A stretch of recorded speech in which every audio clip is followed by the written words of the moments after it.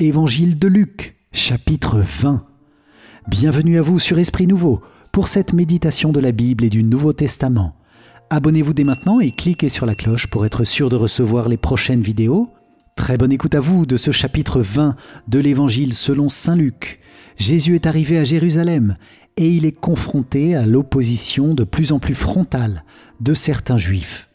Les questions qui lui sont posées tentent de le prendre en défaut, lui tentent des pièges par exemple sur l'impôt ou sur la résurrection. Au nom du Père et du Fils et du Saint-Esprit. Amen.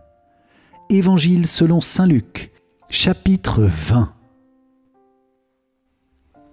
Un de ces jours-là, où Jésus, dans le temple, enseignait le peuple et proclamait la bonne nouvelle, survinrent les grands prêtres et les scribes avec les anciens. Ils lui demandèrent Dis-nous par quelle autorité tu fais cela. Ou alors, qui est celui qui t'a donné cette autorité? Il leur répliqua, Moi aussi, je vais vous poser une question. Dites-moi, le baptême de Jean venait-il du ciel ou des hommes? Ils firent entre eux ce raisonnement. Si nous disons du ciel, il va dire, Pourquoi n'avez-vous pas cru à sa parole? Si nous disons des hommes, le peuple tout entier va nous lapider, car il est persuadé que Jean est un prophète. Et ils répondirent qu'ils ne savaient pas d'où il venait. Alors Jésus leur déclara, Eh bien, moi non plus, je ne vous dis pas par quelle autorité je fais cela. Il se mit à dire au peuple la parabole que voici. Un homme planta une vigne, loua celle-ci à des vignerons, et partit en voyage pour un temps assez long. Le moment venu, il envoya un serviteur auprès des vignerons afin que ceux-ci lui remettent ce qui lui revenait du fruit de la vigne. Mais les vignerons, après l'avoir frappé, renvoyèrent le serviteur les mains vides. Le maître persista et envoya un autre serviteur. Celui-là aussi, après l'avoir frappé et humilié, ils le renvoyèrent les mains vides. Le maître persista encore, et il envoya un troisième serviteur. Mais après l'avoir blessé, ils le jetèrent dehors. Le maître de la vigne dit alors, Que vais-je faire? Je vais envoyer mon fils bien-aimé. Peut-être que lui, ils le respecteront. En le voyant, les vignerons se firent l'un à l'autre ce raisonnement.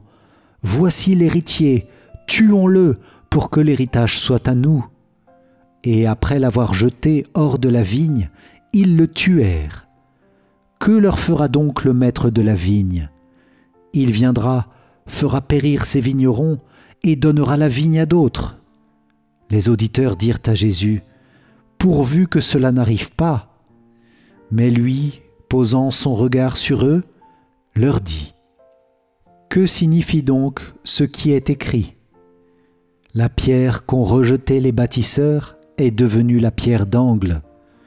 Tout homme qui tombera sur cette pierre s'y brisera. Celui sur qui elle tombera, elle le réduira en poussière. À cette heure-là, les scribes et les grands prêtres cherchèrent à mettre la main sur Jésus, mais ils eurent peur du peuple. Ils avaient bien compris, en effet, qu'il avait dit cette parabole à leur intention. Ils se mirent alors à le surveiller et envoyèrent des espions qui jouaient le rôle d'hommes justes pour prendre sa parole en défaut afin de le livrer à l'autorité et au pouvoir du gouverneur.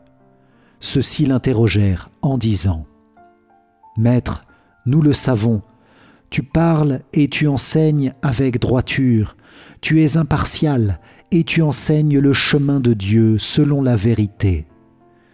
Nous est-il permis oui ou non, de payer l'impôt à César, l'empereur.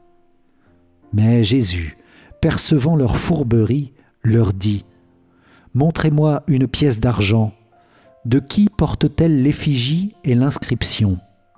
De César, répondirent-ils.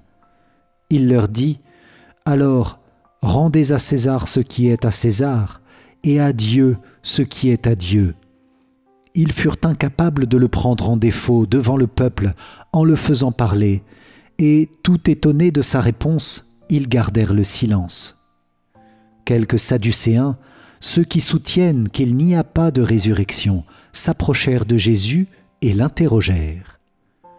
Maître, Moïse nous a prescrit, si un homme a un frère qui meurt en laissant une épouse, mais pas d'enfant, il doit épouser la veuve pour susciter une descendance à son frère.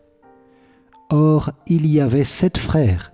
Le premier se maria et mourut sans enfant. De même le deuxième, puis le troisième épousèrent la veuve, et ainsi tous les sept. Ils moururent sans laisser d'enfant. Finalement, la femme mourut aussi.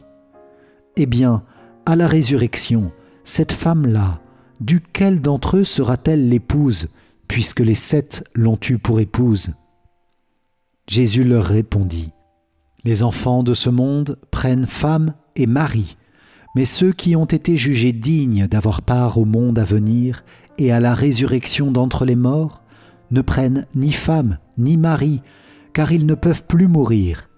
Ils sont semblables aux anges, ils sont enfants de Dieu et enfants de la résurrection. Que les morts ressuscitent, Moïse lui-même le fait comprendre dans le récit du buisson ardent, quand il appelle le Seigneur le Dieu d'Abraham, Dieu d'Isaac, Dieu de Jacob. Il n'est pas le Dieu des morts, mais des vivants. Tous, en effet, vivent pour lui.